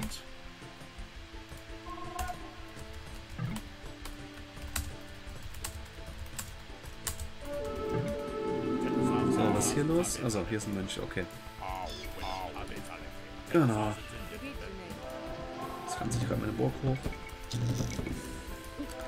In der Burg gibt es ein wichtiges Upgrade, was ganz unterschätzt wird, und zwar heißt das Ganze Wehrpflicht. Und zwar beschleunigt das eure Kasernen, Ställe, ähm, Schießanlagen um 33%. Das heißt, ihr macht effektiv aus 6 Schießanlagen äh, 8 Schießanlagen. Das ist schon ziemlich super mächtig. Durch das Ausbilden dieser und was auch cool ist, werden auch andere Fertigkeiten in der Schmiede zwar glaube ich nicht, aber in der Universität und ähm, im Schloss werden auch schneller ausgebildet. Also wenn ihr jetzt ähm, Spezialtechnologien kaufen wollt in der Burg, ups, äh, ich fahre aus der Universität, fällt mir gerade ein, auch ein wichtiges, unterschätztes Gebäude. Ähm, aber wenn ihr jetzt, jetzt Sachen kauft, werden auch schnell ausgebildet. Heißt also, es lohnt sich das immer zuerst zu machen. So, hier mache ich noch ein Belagerungsuntergar. Ich könnte noch eine zweite Schmiede gebrauchen, fällt mir gerade mal auf. Ich noch eine äh, zweite Uni gebrauchen. Ah, das soll erstmal reichen, genau. So, der Kollege hier, der Vietnamese hat auch schon gute Bogenschützen draußen. Wie ihr sehen könnt, ihr habt mehr Lebenspunkte, die haben 48, meine haben bloß 40, heißt also 20% mehr Lebenspunkte. Macht auch schon was aus in vielen Fällen. Also denkt mal so 10, 12, 15% was man Bonus kriegt, das ist nicht so viel. Ähm, und ja, man kann sehr ähnlich spielen. Oder wird auch sehr ähnlich spielen. Ähm, wenn man jetzt zum Beispiel Bogenschützen-Folge hat, aber stellt euch mal vor, ähm, bei der Formel 1, dass da einer rumfährt äh, und der hat ein Auto, was 10% schneller fahren kann als seine Gegner. Also, ja. Wenn man sich spätestens das mal vor Augen hält, dann wird man sehen, dass das doch schon ziemlich Unterschied macht. Jetzt bin ich aus dem Tribok aus. Tribok haben übrigens alle Zivilisationen. Wie spiele ich denn überhaupt? Okay, gegen Malayen. Malayen haben sehr günstige Elefanten, haben Belagerungskanonen und haben sehr starke Bogenschützen. Also würde man Bogenschützen diesen Kanonen ankommen und halt äh, Elefanten wo ich ja noch keine Elefanten gesehen habe. Ist übrigens auch wichtig, immer sich äh, ein bisschen damit auseinanderzusetzen. Also ich gucke auch immer an Tech Tree rein, was, was haben die Leute. Weil ich zwar im Groben weiß, so nach 500 Spielen, okay, was, was haben die alles, was können die, wo sind die Stärken. Ähm, aber manchmal sind es auch so Sachen wie, hat der Zuchtauswahl das nicht? Ähm, wo man überlegen muss, okay, macht es überhaupt Sinn, gewisse Einheiten zu machen, weil zum Beispiel das Upgrade von leichter Kavallerie zum Husan ziemlich teuer ist. Allerdings haben die bloß 75 Lebenspunkte, die haben 60 Lebenspunkte, haben also bis 15 Lebenspunkte mehr. Die restlichen Werte sind gleich. Ja, äh, und wenn ich ja keine Zuchtauswahl habe, ist halt die Frage, will ich überhaupt Husaren ausbilden? Weil leichte Kavallerie mit Zuchtauswahl ist stärker als Husaren ohne Zuchtauswahl. Und die Äthiopier haben eben auch noch ähm, das letzte Upgrade hier in der Schmiede, nicht für die Panzerung. Heißt also, die haben bloß vier Durchschlagspanzer. Hm, ist nicht so geil gegen Bogenschützen. Heißt also für mich auch wiederum, ähm, ja, ich kann Husaren machen, Die sind auch nicht schlecht, also für das, was sie gut können, sind sie immer noch gut. Zum Beispiel mal einen Onaga auszusnipen oder ähnliche Dinge. Aber es ist halt dann noch die Frage, hm, den Äthiopiern fehlen zwar wichtige Upgrades. Will ich jetzt mit Äthiopien unbedingt Husan machen? Oder will ich vielleicht doch lieber einfach nur auf Schießla Schießanlageeinheiten, Kaserne und ähm, Belagerungsflugzeug setzen? Das mache ich nämlich meistens. Ich, ich baue häufig keine Stelle mit Äthiopiern, weil ich mir denke, die Kombination Armbrustschütze, Plänkler, helle Bade und Belagerungswerkzeug ist schon so mächtig, dass ähm, ich auf diese Stellen verzichten kann, weil wie gesagt, durch diese Zuchtauswahl, die halt einfach fehlt, ein Upgrade kann man jetzt sagen, ein Upgrade fehlt bloß, aber durch dieses ein Upgrade, was fehlt, ähm, sind die halt schon doch im Kampf deutlich schlechter und die kosten halt auch genauso viel wie bei anderen Völkern. Also wenn ich jetzt äh, zum Beispiel ähm, Spanier hätte oder Perser, die sehr, sehr gute Kavallerie haben, ähm, oder Franken, wobei Franken haben die Zuchtauswahl auch nicht, ja, und aber dafür einen Ziff-Bonus, dass die einfach ähm, mehr Lebenspunkte haben, dann ist halt wieder so die Frage, ne? Also will ich, will ich mit diesem Volk äh, auf diese Strategie setzen oder nicht? Weil, ja, wenn ich halt gegen äh, Spanien jetzt hier kämpfen würde, die Einheiten würden die genauso viel Gold kosten, aber halt deutlich stärker. Und da ist halt die Frage, hm, will ich nicht auf andere Sachen gehen? Will ich nicht auf das gehen, was meine ähm, Civ besonders gut kann? Und ja, dementsprechend, ich mache mit Äthiopien häufig keine äh, Stelle, aber es gibt noch andere Völker, das ist auch ähnlich. Also wenn ich jetzt zum Beispiel Koreaner zeige, ups, ich habe jetzt hier geschaut, die haben auch Husan, aber keine Zuchtauswahl und haben auch hier wieder das Problem, auch kein Plattenpanzer, weil denen fehlt auch der Schmelzofen. Den Schmelzofen wiederum haben die Äthiopier, das heißt, denen fehlen bloß Verbrets anstatt drei.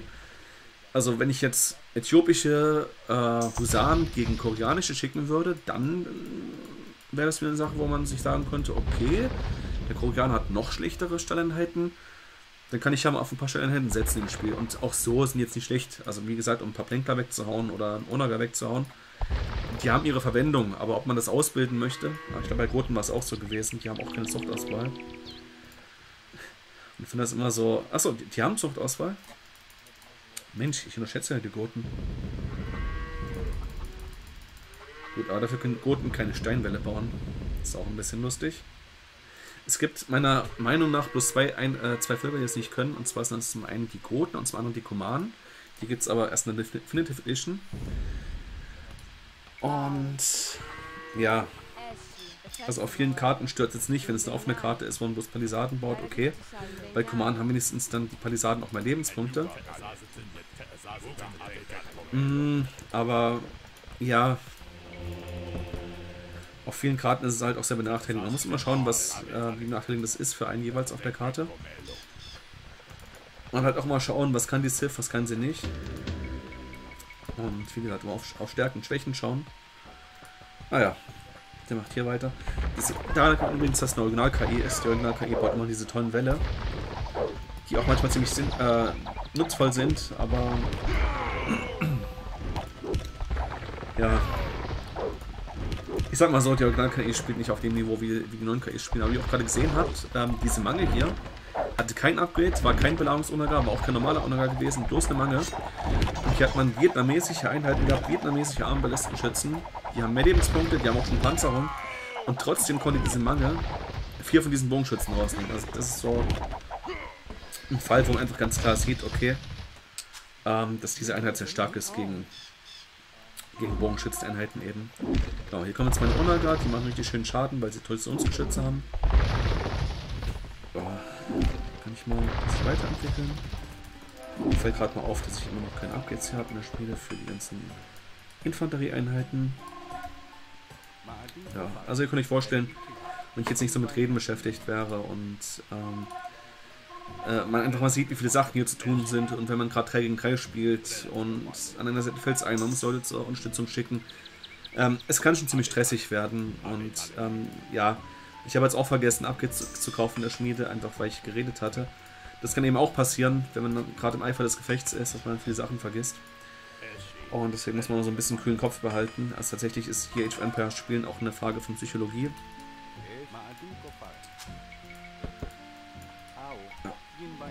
Wenn man sich jetzt so Woche machen lässt durch Angriffe oder dieses ganze Gebimmel immer, es gibt dann immer diese Notification, wenn man angegriffen wurde. Dann ups, ist es halt ein bisschen schwierig. Also hier muss man durch, durchaus seinen kühlen Kopf behalten. Wenn man hier seine Nerven verliert und nervös wird, dann hat man eigentlich allein schon dadurch was verloren. Ups, und das ist gerade ähm, ein Beispiel gewesen. Äh, die meisten Einheiten kennen kein Friendly Fire, also man kann auch mit Tribocken zum Beispiel irgendwo reinschießen in die eigenen Maxen. Das bringt überhaupt nichts, also es killt die Einheiten überhaupt nicht. Ähm, aber Belangungskanonen und Belangungsuntergat, die sind ein bisschen anders.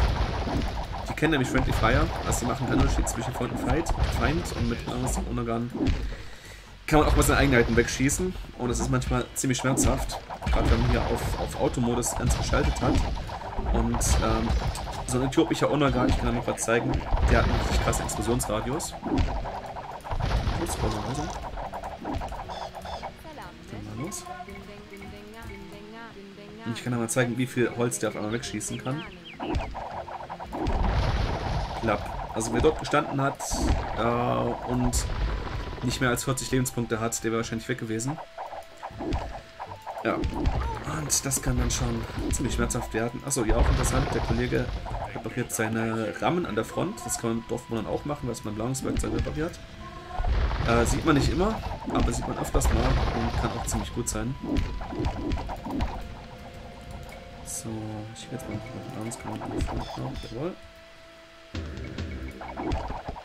Ja, dann mir das erstmal gezeigt und ich denke so, ne, so eine ungefähre Vorstellung von den beiden Spielen, also von der HD-Version, die ganzen Upgrades, was für Einheitentypen gibt und ähm, ja, also wenn ihr das gesehen habt, wenn ihr so diese Bildorder drauf habt, normalerweise sagt man so, die ersten 6, 7 ähm, Bauern gehen auf Schafe, dann erstmal ein paar Leute auf Holz schicken, dann ähm, macht man erstmal Webstuhl, dann lockt man die ersten Schweinchen an, dann killt man die Schweine, ähm, genau, Kaserne bauen, später Schießanlagen an die Front bauen, was ich hier gemacht hatte. Dann ein bisschen Tower Rush machen oder Archer Rush machen. Also wenn, wenn ihr das, das so drauf habt, so diese, diese grundlegenden ähm, Mechanics, was das betrifft, ähm, dann könnt ihr eigentlich schon ziemlich vernünftig spielen. Also ich würde sagen, bei dem, was ich hier alles gezeigt habe in diesem Video, wenn ihr das drauf habt und das gut umsetzen könnt, jetzt habe ich schlafen die Blöcke dann seid ihr wahrscheinlich schon in der HD-Version so irgendwas Elo-mäßig zwischen 1400 und 1500. Also ist tatsächlich so, wer ja seine Hausaufgaben macht und weiß, wie das Spiel funktioniert und sich informiert hat und diese ähm, Bildorder auch wirklich drauf hat, dass er die aus dem Schlaf beherrscht, der ist eigentlich schon so im mittleren Segment unterwegs und das Restliche ist dann halt dann wirklich auch einfach Ideenfindung ähm, mit welchen Einheiten greife ich an, auf welche Einheitenkombinationen setze ich. Was zum Beispiel sehr häufig sehen wird, ist äh, die Kombination ähm, Hellebardier und Belagerungsonager. Einfach aus dem Grund, dass es sehr gut funktioniert, weil Belagerungsonager kann man sehr gut wegsnipen mit ähm, Kavallerie, die reitet rein und geht äh, so nah an den Onager ran, dass er nicht mehr schießen kann auf das Ziel. Genau. Ich habe GG geschrieben, das heißt Good Game. Dann schreibe ich ihm noch Well played, buddy. It was sure fun. Genau, weil nämlich äh, Kavallerie ist ziemlich gut gegen so eine Art von Belagungswerkzeug. Und Hellebardiere sind halt gut gegen Kavallerie. Und gegen Hellebardiere sind aber auch Belagungsonager ja. stark. Ähm. Ja, Quatsch, gegen Hellebardiere sind Bogenschützen stark, aber die Belagungsonager können die Bogenschützen wegschießen. Heißt also, ähm, die countern gegenseitig die Counter, die sie haben.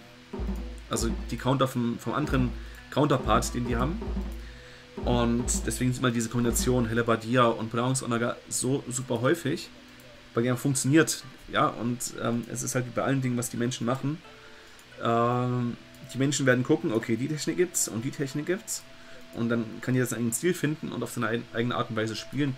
Und da es ja auch so viele Völker gibt und so viele Einheitentypen, ähm, und unterschiedliche Karten gibt es auch sehr, sehr viele unterschiedliche Spielstile und auch ähm, Leute, die sehr, sehr unterschiedlich ans Spiel rangehen. Also manche zum Beispiel sind ein bisschen assi, die kommen an und klauen dann Ressourcen, also sie klauen dann Schafe und klauen dann sogar Eber oder wollen irgendwelche ähm, Bären und sowas ein. Das ist natürlich dann scheiße, wenn man sich selber nicht entwickeln kann. Das sind sogenannte Lehmer, also das sind dann Leute, die kommen hier an und bauen erstmal so fleißig einen Zaun drum. Ähm, ja, aber ich habe ja auch schon alles Mögliche gesehen. Leute, die einzelne Bauern einsneaken, um dann zum Beispiel zwischen zwei Verbündeten einen Wald zu bauen, dass sie keinen Handel betreiben können. Also all solche Sachen. Und ähm, ja, das ist schon ziemlich abgefahren, was man hier sieht. Also es gibt grundsätzlich jetzt nicht so extrem viele unterschiedliche Taktiken, sage ich jetzt mal. Aber man kann das ja auch miteinander kombinieren. Also wie ich zum Beispiel hier auch einen Tower Rush mit einem Archer Rush kombiniert habe. Und äh, wenn man halt einfach mal sieht, wie viele Einheitentypen es gibt und ähm, dass man auch nicht immer Einheiten mit Einheiten countern kann, weil entweder fehlen Schmiede-Upgrades oder Zuchtauswahl oder was auch immer. Ähm, oder man hat einfach die Einheit nicht. Also zum Beispiel diese Adlerspeer, das sind bloß die Indianervölker. Azteken, Maya, äh, Inka, die haben keinen Stall, aber dafür haben sie die Viecher. Und ähm, ja, wenn also der Gegner mit Adlersperren oder dann Elite-Adlerkriegern ankommt, kann man keine eigenen dagegen schicken, weil es die eigene Zivilisation wahrscheinlich nicht hat. Da muss man halt was anderes finden. Zum Beispiel Ritter kann man dagegen schicken. Genau, also ein sehr, sehr komplexes Spiel. Man kann es auch in einer Stunde nicht so einfach erklären. Aber ich denke, man kann es so umreißen, so ungefähr das Spielprinzip. Und wenn man halt äh, nach Bildordnern schaut und so ein bisschen die Bildorder einstudiert und weiß, womit kann man was countern, dann kommt man schon ziemlich weit in den Nussspielen. Um, pretty nice, but still recording. Um, please give me another free min. Es gibt an mir so ein Mocking-Scheme. Okay, gebe ich ihm einen zurück.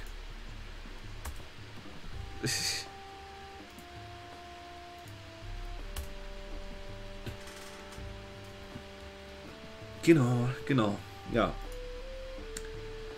Also, ein sehr komplexes Spiel und auch ein Spiel, ähm, was auch bis zum Ende nicht langweilig wird. Denn wenn wir jetzt mal reinschauen in diesen Technologiebaum, sieht man, was ich alles gekauft habe und was ich nicht gekauft habe. Ich habe zum Beispiel keine Plänkler gehabt. Das lag aber bloß daran, dass ich einfach so viel Gold hatte. Ähm, wäre jetzt der Gegner mit Riesenmengen an Bogenschützen angekommen, hätte ich vielleicht auch Plänkler gemacht. Einfach weil Plänkler gegen Bogenschützen viel effizienter sind. Die haben nämlich nicht nur Angriffsbonus gegen Bogenschützen, sondern die haben auch noch einen höheren Durchschlagspanzer von 4. Und wenn die Durchschlagspanzer haben von 4 plus 4 ähm, und damit einen Bogen, also ein Aberlestenschütze mit von Upgrades plus ähm, 10 Schaden, äh, 2 Schaden macht, also 10 minus 8 macht 2, ähm, kann man sich halt vorstellen, dass die halt schon deutlich effizienter sind. Denn Plänkler würde jetzt wie viel Schaden machen? Einmal kurz durchrechnen. Äh, 3 plus 4 Angriff, minus 4 Durchschlagspanzer, macht 3 Grundschaden. Und dann noch Bonusschaden, 3 oder 4 Punkte waren es gewesen. Also wenn man dann schon einen Schaden macht von 7 oder 8, sowas in die Richtung, anstatt von 2, das macht natürlich schon einen Unterschied. Ähm, aber ich denke mal, bei den ganzen Belangungsuntergang, die ich hier hatte, konnte ich auf Plänkler sowieso verzichten. Ähm, aber gut, das ist halt schweres geschützt. Das muss halt auch erstmal haben. Und wenn man 1 gegen 1 spielt und sehr wenig Rohstoffe auf der Karte sind, ähm, also diese Belagungsuntergang kosten halt 135 Gold. Ich habe jetzt sehr, sehr viel Gold, weil ich halt auch viel Handel betrieben habe und vom Gegner geklaut habe. Ähm, ja, aber so ein einzelnes Spiel, sage ich jetzt mal, 135 Gold ist schon relativ viel. Also wenn man da fünf von denen macht, das ist schon eine, eine größere Investition, sage ich jetzt mal. Das sind ja schon fast 700 Gold. 675, irgendwas in die Richtung ist das dann. Das ist schon eine Menge. Genau. Ja, was, was hat ihr gesehen, was man nicht machen darf oder wo man aufpassen muss? Ich war mehrfach gepopcapped. Das heißt einfach, dass ähm, ich nicht genügend Wohnraum hatte für meine Dorfbewohner. Ähm, das sollte eigentlich nicht passieren, da muss man aufpassen. Ähm, aber so im Groben mehrere bauen, hier boom, die Farmen machen, Handel etablieren. Also ich denke mal, man konnte aus diesem Spiel schon einiges mitnehmen. Vieles war schon gut gespielt gewesen. Und wenn ich jetzt beim Verbündeten schaue, ähm, ja, okay, er hat jetzt hier genau zwei Schmieden, hier den Handelsweg reingebaut. Das ist natürlich auch nicht so ganz ideal. Aber er hat schon ganz solide gespielt. Und wenn ich so sehe, ähm, hier hat er auch eine Burg gepflanzt. Die ist gar nicht mehr da. Achso, nee, hier hat er eine Burg gepflanzt. Das war schon nicht schlecht gewesen. Zumal der Computergegner ist meistens ziemlich dumm. Die rennen voll in die Burgen rein. Und greifen mit Bogenschützen oder äh, Mang etc. greifen dann die Burgen an.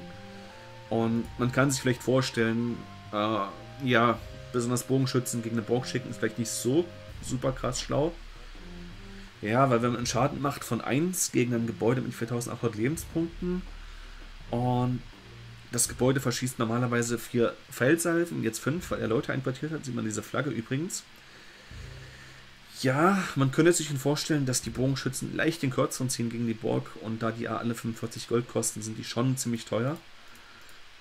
Und ja, gibt auch viele Karten, da hat man halt nicht bloß diese paar Goldfelder hier. Und wenn man halt dann äh, 8 oder 10 Goldfelder hat und die bringen jeweils 800 Gold, eins ist 8000 Gold. Äh, das ist schon begrenzt, weil man muss überlegen, Ritterzeit kostet 200 Gold, Imperialzeit 800 macht zusammen schon mal 1000, dann die ganzen Entwicklungen äh, kosten nochmal Gold, äh, in der Schmiede ab da Ritterzeit kostet auch jedes Upgrade Gold, ähm, bis dann ist ja bloß so, in der Feudalzeit kostet ja bloß die Befiederung Gold, Rest kostet bloß Nahrung. Oder halt bei Spanien als einzelnes Volk kostet halt sowieso alles bloß Nahrung. Aber hier ist es dann auch nochmal, hier mal 120 Gold, dann hier mal 200 Gold. Äh, Ballistik entwickeln, auch wichtig eigentlich. Ich weiß gar nicht, warum ich es nicht gemacht habe. Habe ich so viel mit Reden beschäftigt. Ja, Ballistik ist, ist auch sehr wichtig.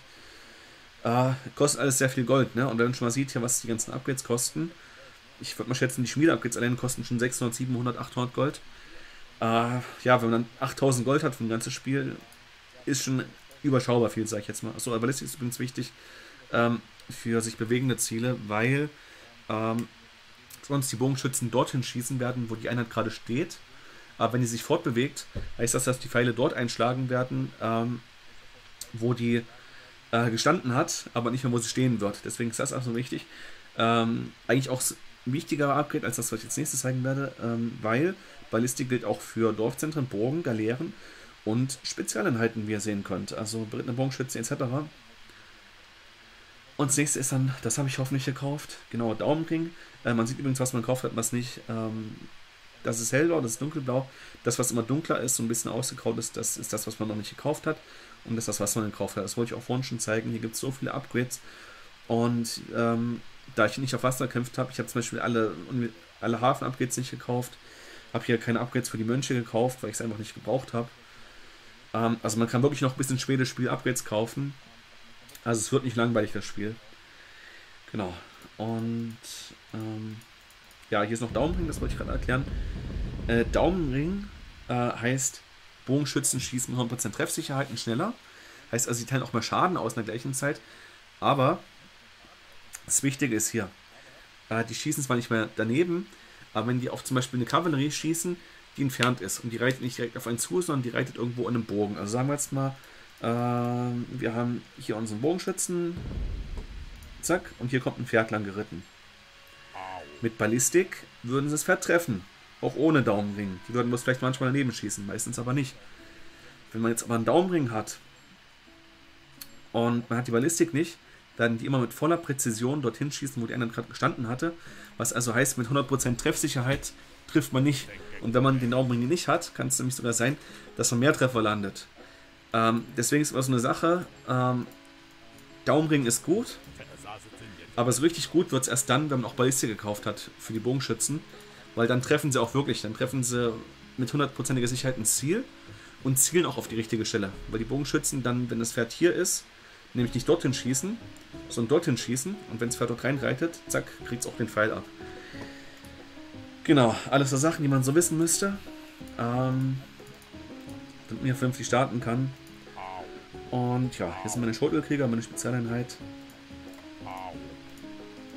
Die haben zwar jetzt keinen besonderen Angriffsbonus, aber die haben halt einen sehr hohen ähm, Schaden, den sie verursachen. Jetzt von 18 in der Imperialzeit sind aber auch eine der stärksten Einheiten, die man sich haben kann. Ich glaube, bloß die persischen Kriegselefanten und ein paar andere wenige Ausnahmen äh, sind noch stärker als die. Sind aber in der Zeit noch mächtiger, weil, ähm, achso, jetzt mir 1818, das ist ein bisschen Bug. Ähm, ich kriege jetzt, wenn ich äh, auf die Ritterzeit schaue, auf die Schurtelkrieger, kriege ich ähm, die Werte der Elite-Schurtelkrieger angezeigt, weil ich das Upgrade bereits gekauft habe. Normalerweise müsste jetzt eigentlich hier stehen Angriff 16. Und die einen Angriff haben von 16 in der Ritterzeit, sind hier auch in der Ritterzeit, soweit ich weiß, unangefochten äh, die stärkste Nahkampfeinheit. Und man kann halt den super gut raiden, was man sonst auch mit Tosan sehr gerne macht oder leichter Kavallerie. Ähm, genau. Dass man halt einfällt und schnell Gebäude zerstört oder Dorfbewohner umbringt. Ja, sind sogar stärker als die Kriegselefanten in der ähm, Ritterzeit. Zumindest was den Angriff betrifft. Und sind halt sehr schnell. Also die Jungs kann man gut über die Karte schicken. Genau, dann wäre auch das gesagt. Und ja. Also noch kurz zusammenfassen, immer schön die Bildorder beachten, Leute ausbilden. Gegen KI ist es sehr, sehr empfehlenswert, gerade gegen extremer KI früh vorzugehen. Weil, wie gesagt, wenn ihr die ähm, erstmal maxen lasst, ich sag mal so, 2 äh, KI auf extrem kann ich hinbekommen. Gerade auf Black Forest, wenn die Karte zu ist, dann kann ich eine Seite abholen, äh, überfall die eine Seite und vor dann direkt dahinter auch noch zu, dass der Gegner mich nicht angreifen kann und ich ein bisschen Zeit habe, um meine Wirtschaft zu erholen. Ähm, gegen zwei KIs kann ich gewinnen auf diese Art und Weise auf Black Forest. Vielleicht lade ich da sogar mal ein Video mit hoch, wo ich das versuche. Warum nicht, falls jemand interessiert. Ähm, ja, aber falls, ähm, sag mal, falls äh, ich die aber erstmal buben lasse und die haben auch schon Handel und haben einen Haufen Einheiten. Äh, also wenn ich, wenn ich, wenn ich Welle baue und 30, 40 Minuten die boomen lasse, bis die richtig ein Militär aufbauen, würde ich sagen, habe ich gegen zwei KIs auf extrem so gut wie keine Chance mehr. Aber ich denke, dann wird es auch für Pro-Spieler schwierig. Also wenn man sich sowas anschaut wie The Viper, ähm, ich glaube, der Rekord von The Viper war, gegen vier extreme KIs zu gewinnen. Und das ist, glaube ich, auch Weltrekord. Oder gegen fünf KIs auf extrem zu gewinnen.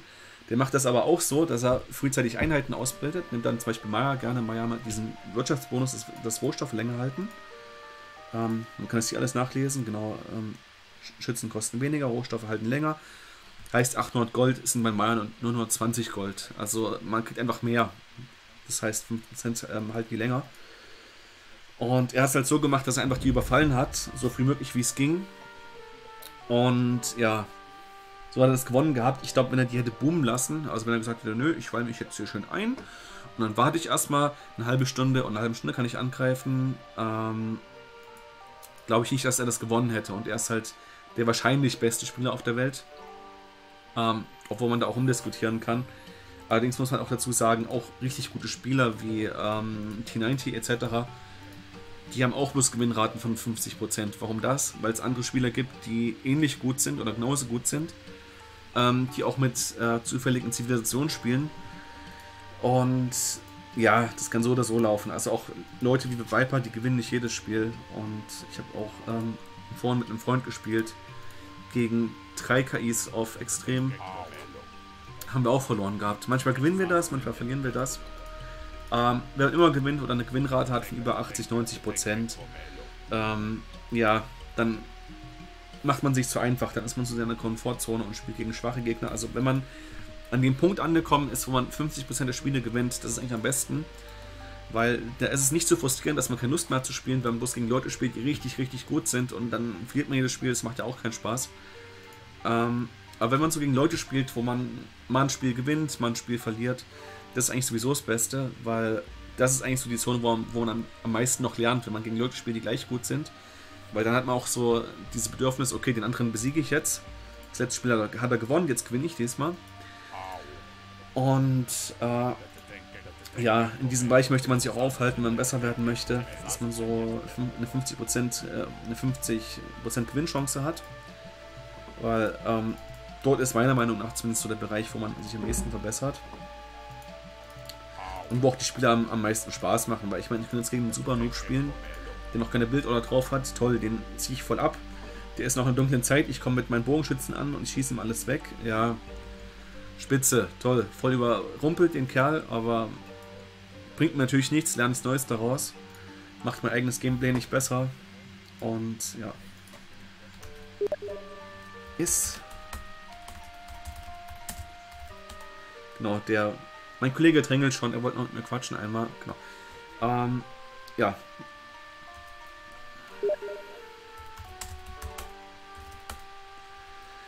Und gut, wenn ich mich jetzt noch 10.000 Mal wiederhole, ähm, schaut euch sonst mal an das Spiel, wie ich das gemacht habe. Auch wenn ein paar kleine Fehler im Spiel drin gewesen sind, aber ich meine, ich habe ja gewonnen im Endeffekt, also das ist das Wichtigste.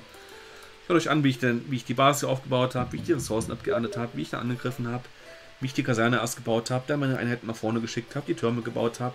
Also wenn ihr das alles drauf habt, was ich jetzt gezeigt habe in dem Video, dann seid ihr schon ziemlich stabil unterwegs und ja, Rest ist halt Erfahrung. Also klar, man kann ja erstmal lernen, ja, der ist gegen den gut, der ist gegen den gut, hm, Champions sind sowieso gut, da kann man Hellebardiere und Plänkler und auch noch Husaren mitschlagen und gegen so viele andere sind ja auch gut.